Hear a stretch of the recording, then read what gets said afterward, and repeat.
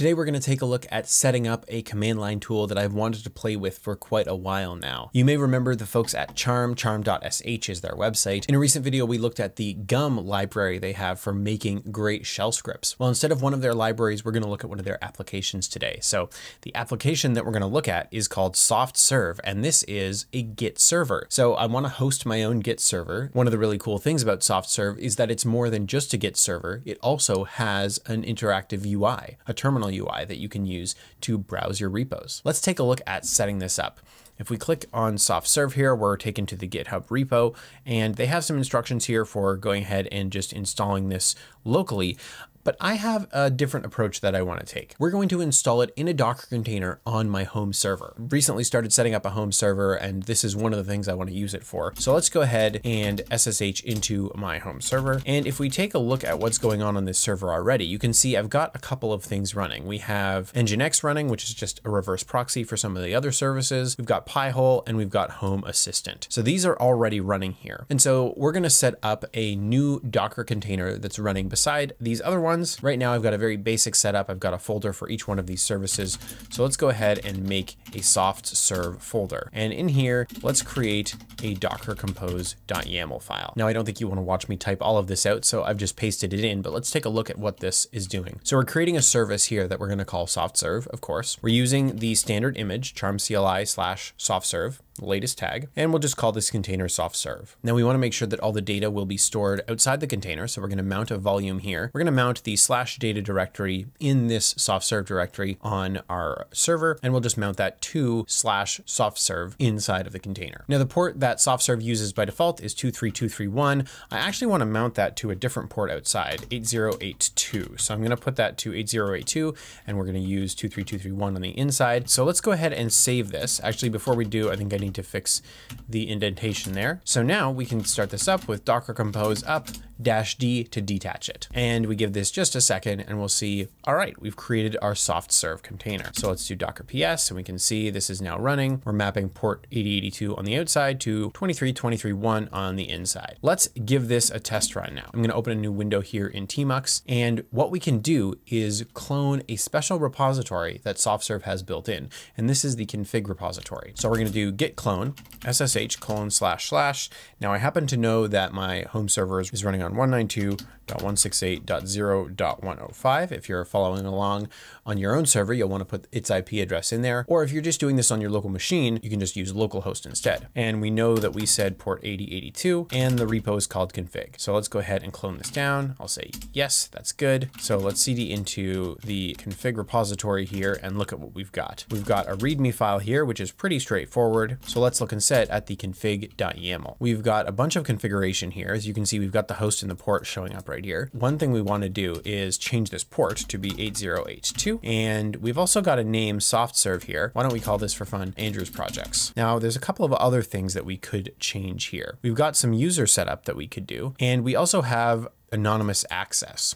So these are things that if you are running this in a public environment, maybe you want to change. Now the anonymous access thing is kind of cool. It allows you to basically give anyone a terminal UI that they can use to browse your projects. Let me show you what I mean by this. I'm going to open a new terminal window here. We're going to do SSH into git.charm.sh.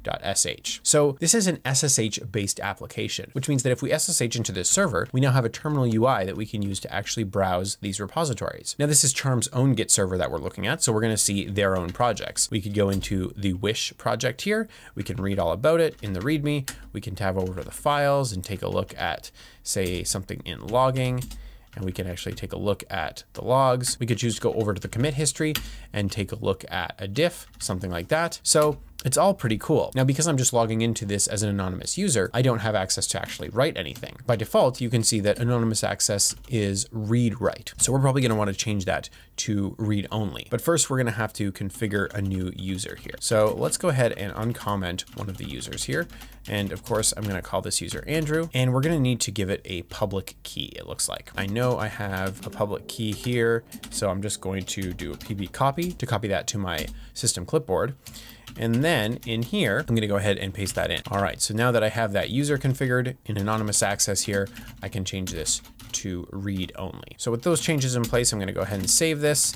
I'll make a commit that says updated config and then we'll go ahead and we'll push that. So it should be just that simple. We should just be able to push the config and have that figured out. So now that we have that, let's go ahead and test the terminal UI. Let's see, so we're gonna SSH to this host and we're gonna use this port. And now you can see we're in the terminal UI. Now notice up at the top, it says Andrew's projects, which is exactly the name we gave it. Notice also that the example clone command that we have here shows the host and the port that we had. So we changed that to 8082. Now we didn't change the host name. This example command here is not correct. So let's go ahead and update that. If we open up our config file once again here, and we can update this to 192.168.0.105. All right, so let's say update hostname and go ahead and push that. And now if we once again SSH into this, you can see that our git clone command here shows the correct IP address. So how about creating a new repository here? Let's go ahead and move to my dot .files project, of course. And if we do git remote -v, you can see that currently the only remote that we have is my GitHub remote.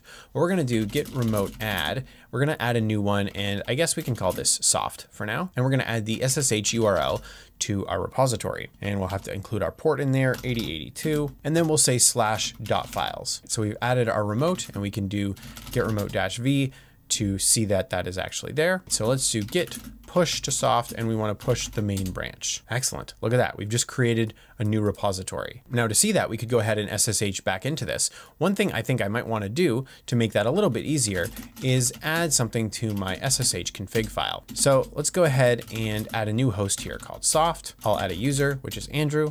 I'll add my host name, which is the same as I've got for Ubuntu right here, but the main difference is the port, which is 8082. So we can save and close that. And now I should be able to do SSH soft and we're right directly into my projects.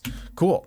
So now you can see we've got home. We've also got dot files. If we go into dot files, move over to the files, we could actually say, take a look at my Alacritty config, or maybe we could take a look at some of the commits. For example, Here's a recent commit I made to my Vim config, and we can actually take a look at that. Now, if you're not sure what commands you can use here in soft-serve, you can use question mark to toggle this little cheat sheet at the bottom here.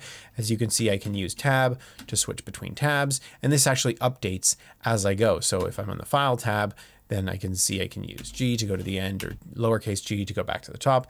If I go to commit here, you can see I can actually navigate and then I can press C to copy the hash, or I could press right arrow in order to actually take a look at what that diff is. Now there's one more thing we could do here. Notice that dot files looks a little plain compared to the config repo that we have. So we can see config says home, it's got the little lock icon there. It has a nice little summary line here.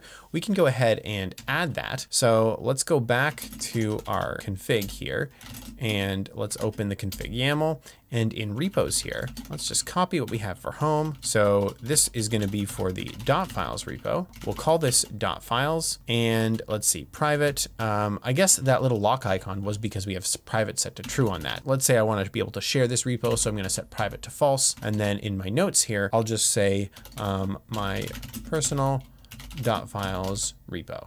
So we'll go ahead and commit these changes, updated uh, .files repo config, and we'll go ahead and push that. And then we can SSH back into soft. And now you can see that dot .files is uppercase D here and my personal .files repo. Cool, so now I have a local Git server that I can use for my personal projects. One thing I would love to do is set up a public version of this, similar to git.charm.sh, where anyone can browse whatever projects I'm working on. So if you guys think that would be an interesting video, go ahead and let me know in the comments. Thanks so much for watching, and I'll see you later.